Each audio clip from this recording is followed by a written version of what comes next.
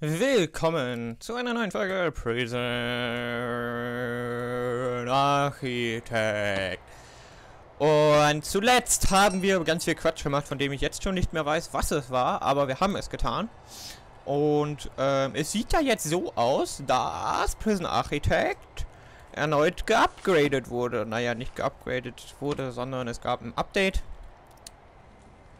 Und das ist jetzt die Alpha 34, glaube ich raus. Und es gibt äh, im Grunde zwei neue Features. Ein relativ großes, wovon der erste Teil momentan nur drin ist. Und einen neuen Raum. Der neue Raum ist der Laden. Ja, ganz einfach übersetzt. Es ist einfach ein äh, Supermarkt im Gefängnis. Wo die Leute, also die Gefangenen, sich Sachen kaufen können. Und da findet ihr das nächste Feature. Die Gefangenen haben jetzt auch Knete. Seht ihr, kann man das irgendwo sehen? Kann man irgendwo sehen, wie viel Geld die haben? Äh, ist auch egal, die haben jetzt auf jeden Fall Geld, verdienen auch Geld, wenn sie arbeiten gehen. Wenn ich es richtig im Kopf habe, 50 Cent pro Stunde. Und ähm, es sieht jetzt so aus, dass ähm, die sich damit halt Geld, äh, Sachen kaufen können, so wie Snacks oder so, also was auch, was die auch essen oder trinken können, wenn die mal irgendwie welche Bedürfnisse haben. Sodass die Bedürfnisse etwas abgeschreckt werden. Du solltest da draufklicken. Also keine Ahnung, ne? Und ähm, es ist halt auch so, dass ähm, die halt dadurch, dass ihr äh, die Besuch bekommen, auch Geld bekommen, sodass man sich auch schlussendlich irgendwie Geld mit damit verdient. So, ähm, äh, des Weiteren gab es noch ein weiteres nettes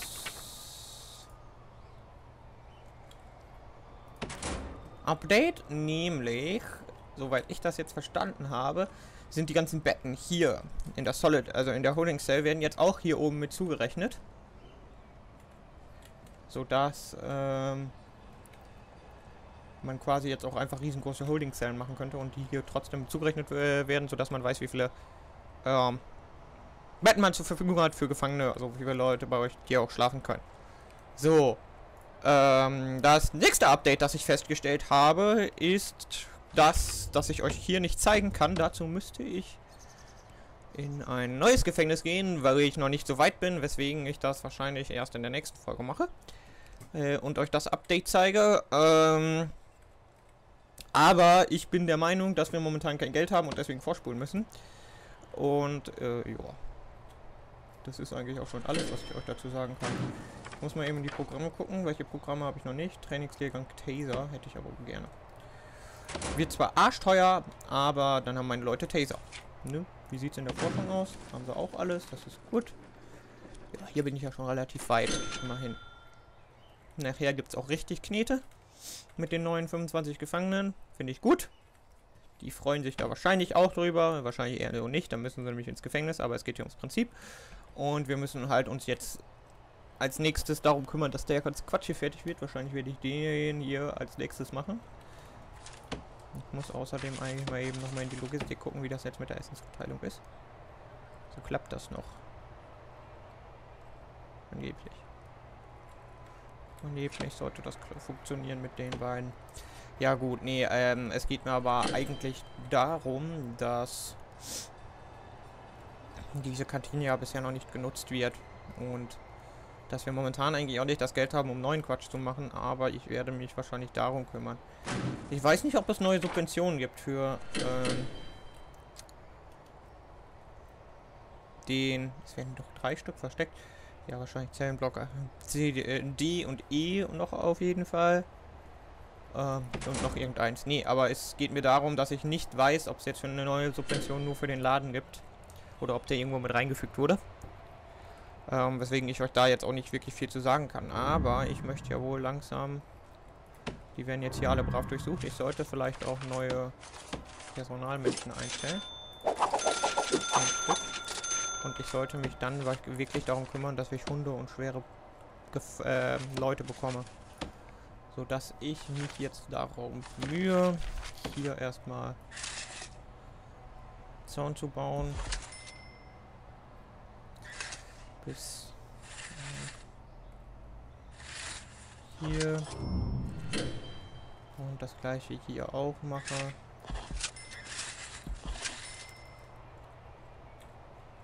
Dass hier quasi der Hundezwinger hinkommt. Und Ah, ich wurde von Igwas gestochen. Also wenn ihr irgendwie Vögel oder so im Hintergrund hört, tut mir leid. Ähm, das Spiel hängt gerade. Wieso hängt das Spiel gerade? Ähm, dann liegt das daran, dass ich sehr weit im Wald wohne und es momentan arschwarm ist und ich gerade keine Lust habe, ehrlich gesagt. Ähm, in irgendeiner Weise mich der Hitze auszusetzen. Oh, fuck, ist das das tut weh, ein wenig. der muss gar nicht dahin eigentlich. Kann ich wieder abreißen.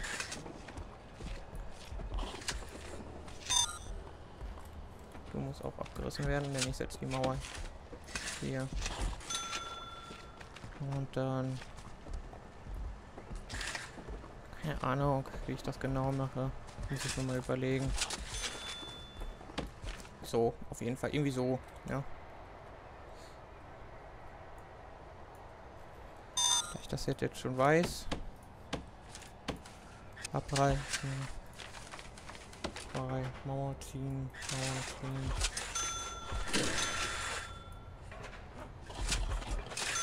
Wie sieht das hier aber kleiner aus, oder? Hier sind das vier. Hier sind. Okay, okay. Dann geht das. Das sollte nicht so gemacht werden, aber okay. Ähm. Boah. So. Ähm, den Hundezwinger kann ich ja schon mal einrichten.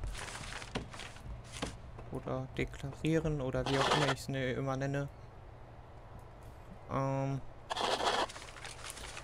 mit ein paar netten Türen hier rein. So wie hier auch. Und mal schon mal in jeden zwei Hundeboxen rein. Und schon mal zwei Hunde holen. So.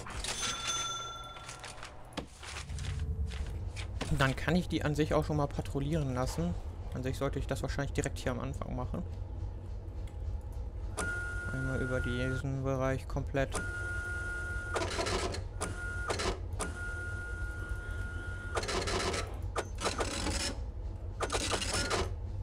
Und einmal über diesen Bereich komplett.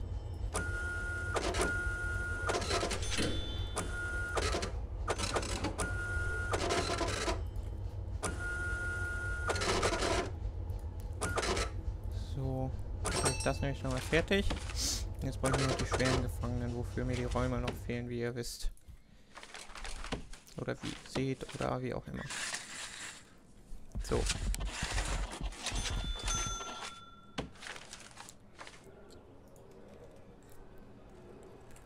Und da kommt dann das erste schwere Ding rein und dann werde ich jetzt hier zwei schwere Gefängnistüren hinmachen, damit ich den Bereich hier komplett sperren kann, dass hier wirklich nur Personal rein darf.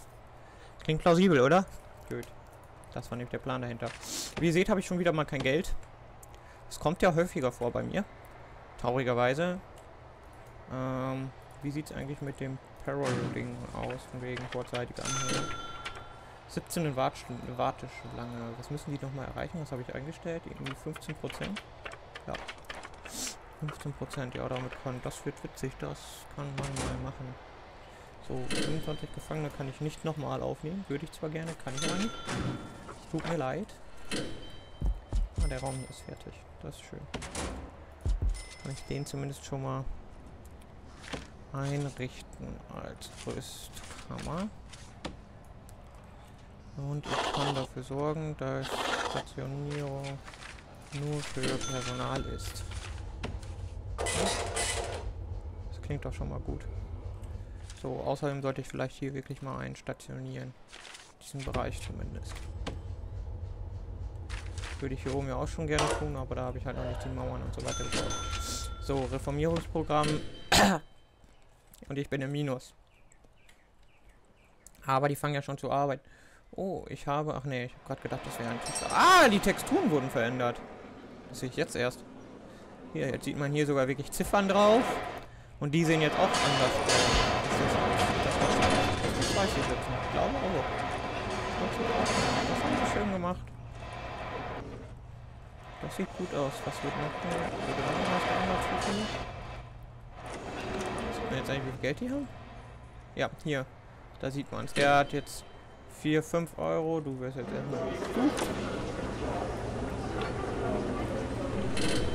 Sorry, Bro. Selber schuld. Du hast eine Schere gehabt. Kostet dich 4 Stunden in der Isolation. So, aber das finde ich gut, dass sie die Tradition verändert haben. Sieht besser aus, wie ich finde, aber ähm, ja. Ein bisschen Kreuz haben sie jetzt hier wieder, ein bisschen Knete steht hier wieder. Ich habe halt noch nicht so viele, die bei der Sicherheitsunterweisung arbeiten. Aber ich das, kann das so sein? Ah, 14 von 19 haben bestanden. Das ist eigentlich keine schlechte Quote sogar. Jetzt gibt es erstmal Mittagessen. Wie sieht es mit der Tagesplanung eigentlich aus? So, ist schon Abend. Ist schon durch mit kompletten Arbeiten? Ich habe doch nichts an Geld gekriegt. Was soll der Quatsch denn jetzt? Hm, schlecht. Das finde ich ja nicht so gut. Ah, jetzt ein bisschen noch. Naja, viel ist das jetzt auch nicht, aber trotzdem. So, mal eben Kabel durchziehen. Hier auch schon machen. Und dann brauche ich jetzt einen Tisch.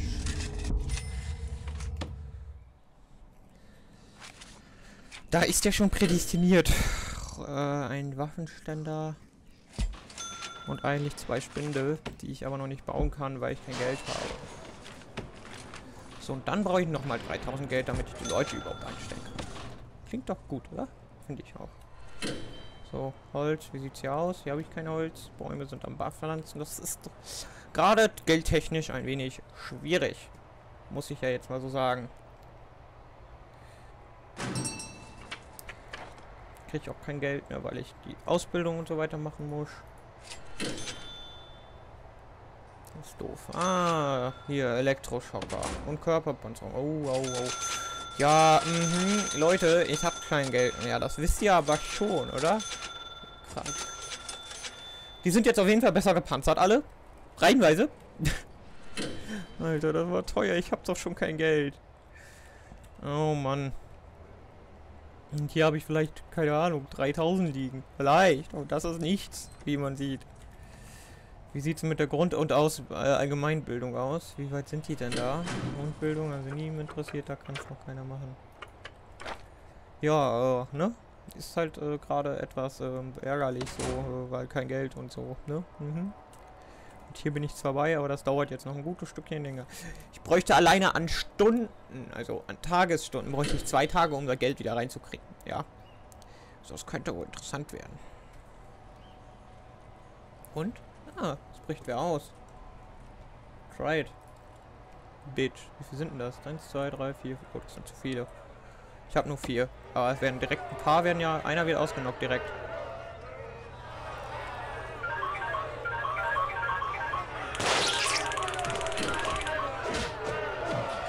Oh. Fertig. Eats. Muss ich erstmal eine Razzia starten eigentlich damit ich herausfinde, von wo die kam. Oh, fünf Leute aber schon mal weggesteckt. 10 Stunden Illusion, 18 Stunden. Fuck. Alter, von wo haben die sich denn durchgebuddelt? Shit. Das ist ja mal, das ist dreist. Das ist wirklich dreist. Aber okay. Das war jetzt nicht das Problem, wie man sieht. Weil wie viel Quatsch ich auch finde, ne? Was passiert, wenn ich nicht so oft diese äh, Razzien mache? Leute brechen aus. Ich finde viel zu viel äh, Quatsch.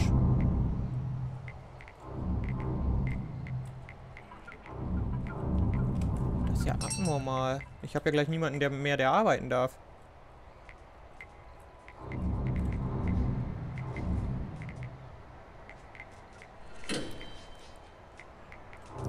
Ah, neue Elektroschocker.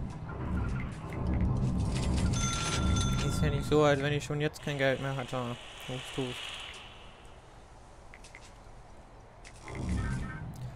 Auf jeden Fall werden ganz schön viele in Einzelhaft müssen. Ja, 37 Stück. Das ist einmal das halbe Gefängnis gefühlt. So viele Plätze habe ich gar nicht. Ich habe 4, 8, 22. Es geht sogar 22 Plätze. Das ist okay. Vollkommen.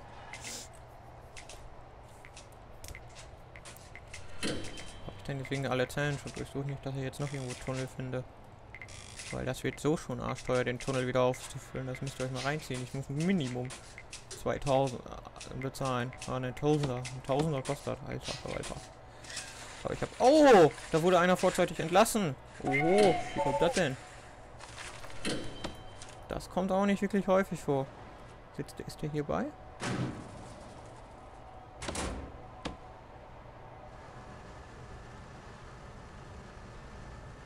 Das freut mich. Irgendwer wurde vorzeitig entlassen. Das gibt Geld, wie man gesehen hat. Solange der nicht rückfällig wird. Oh, und hier gibt es nochmal einen Stapel von 36 Holz. Gibt auch nochmal Geld. So, und jetzt sollen sie arbeiten gehen. Am besten so viele in der Sicherheitsunterweisung wie nur möglich. Hm, das ist einer. Wow. Der Rest ist in der Zelle. Top. Ah, es kommt noch einer. Darf der arbeiten oder muss der noch unterweisen? Oh, der rennt nur durch. Ja, wo will der denn hin? Ah, hier arbeiten auch welche. Was hat der da eigentlich für ein Buch in der Hand? Egal, der kriegt Geld. Kriegen alle Geld. Ich brauche einen Laden.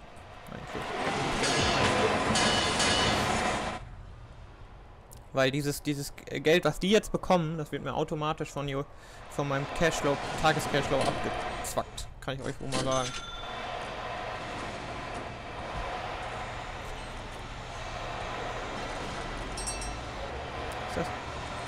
5 Euro, 5 Euro. Wenn ich es richtig weiß, kostet jedes Ding im Laden 5 Euro übrigens. Egal was es ist. Ähm, weswegen man relativ schnell das Geld sogar wieder reinbekommt.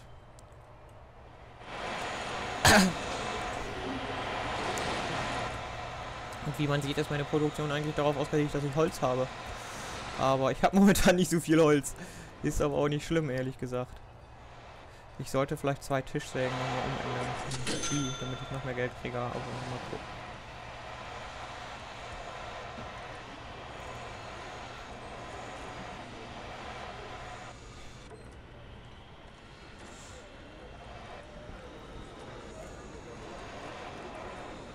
Wobei so viel Geld steht auch momentan nicht. Was liegt denn hier gerade? Liegt hier irgendwo Holz? Ne, 25. Die bringen auch echt nicht viel, die geben 10 pro Stück. Das ist nicht viel. Deswegen ich eigentlich auch auf Holz ausgelegt bin. Aber so ein bisschen nebenbei ist immer nett. Mal so. Aber, indem ich jetzt am Ende der Folge nichts mehr gemacht habe, verabschiede ich mich hier schon. Sage danke fürs Zugucken und wir sehen uns beim nächsten Mal. Hasta la vista. Tschüss.